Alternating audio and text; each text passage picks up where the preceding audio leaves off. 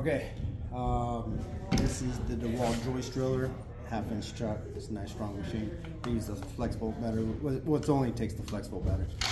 Um, great driller. Um, how to set up, how to choose and set up your hole saw that you want to use and set it up in the uh, chuck. So I'm setting, right now I'm going to be drilling for a 3 inch ABS pipe, so I'm setting, I'm going to use a 3 and 5 eighths uh, hole saw. So first you need to find your 3 and 5 eighths hole saw. Do the boots, I have blocks Oh, up there. it's over here. can save these right for you. Of these for you. Is that going to be the first today? Okay, 3 and 5 eighths. Um, um, so you grab your 3 and 5 eighths hole saw, set it up in your arbor. I'm actually going to use uh, a different arbor that I have that comes with the kit.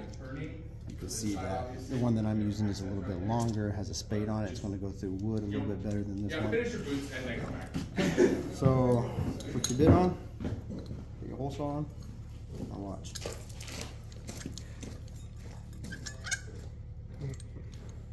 So you line up, you go all the way, and then you back up a little bit and line those line those holes up mm-hmm. with the pegs on the hole saw. Push it in there, and see this rubber gasket right here? You tighten this nut against it, just finger tight. That's it. This thing's done. Now you're going to drill. When you're when you're done and you want to switch uh, hole saw blades, you just use your finger and you loosen this nut, and it's and it's going to loosen up just fine because you're compressing against a rubber gasket right here. So you don't need any kind of tools and all. This is all finger tight action. So you take that nut off, you slide this back, it unlocks from the actual hole saw, and this will just come off really nice. Okay.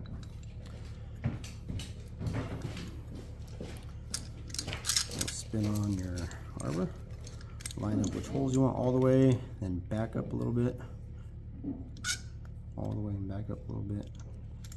Pick the closest holes, spin the lock nut up, press against that little rubber gasket, and this is ready to go. Okay. Putting it inside the chuck. Look. Opens.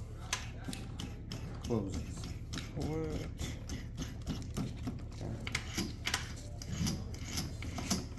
Opens.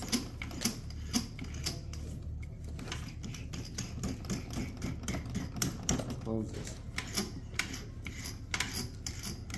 Put it in with hand at first. Okay, look at it, make sure that the chucks are lining up on the flat part of the arbor. They are really nice. Let me show you what wrong would look like. Can go wrong. Okay, that's wrong. When you go to actually tighten that down on that and start to drill it, this is going to slip. It's to slip in here and get loose. So you want to line those up. Now, mind you, this is this is when you're actually in the field and working, you're actually going really fast. You just you kind of usually you'll you'll see the little wiggle because if you're wiggling, it's it's going to find true. It's going to everything's going to fit really nice. Now now we still got to tighten it, right? It's only in their finger tight right now. So uh, this DeWalt joist driller comes with this uh, key chuck holder and this key. So pop that out there. And you want it to be that tight too, look. This really goes in there nice. And the shank of this key right there just snaps right into this uh, key holder. Then you put your finger under here and snap it out. You want it to be that tough too because when you're running around drilling all your holes, you don't want this to fall out and lose your key. Okay? You put it in there. See it? You put that in that hole right there and then the teeth right here match up with the teeth of the chuck and then tighten it up. That's done. That's in there, nice. Always, always put the key back. Don't put the key right there and oh, I'm just gonna come back to it. You're gonna lose it. Put the key back. Okay, this is ready to go. I usually like to put a chuck on here for quick change.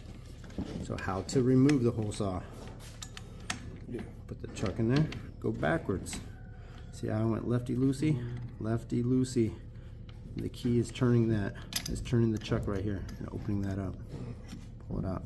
So let's put a six inch um, extension uh, quick exchange. Put it in there. Tighten it up by hand, give it a little wiggle, make sure it's good. Put the key in there. Tighten it up. Put the key away. Now look. Now we're not now we're not gonna have to mess with that again. This is locked. Quick release. Boom. Quick release. Okay. A lot of times I like to have multiple arbors going with different sizes on it. If I want the two and nine sixteenths, I can take that out and put the two and nine sixteenths and then I'm in business. But sometimes I don't have the room for this all this whole Hang length on. of I don't have the room for all this. So I have to take the uh, extension out and put the hole saw back in tight quarters. But that's, that's how you do it.